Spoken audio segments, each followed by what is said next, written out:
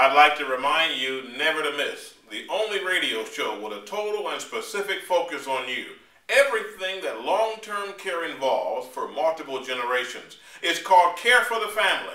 And on March 20th and March 27th, we're discussing innovations in long term care, how to help relieve family stress that results from caregiving, changes in the delivery of services to consumers of mental health programs, and more. It's on AM 1200 WCHB in Detroit, and you can listen to WCHBNewsDetroit.com, and you can always follow us online at careforthefamilyradio.com.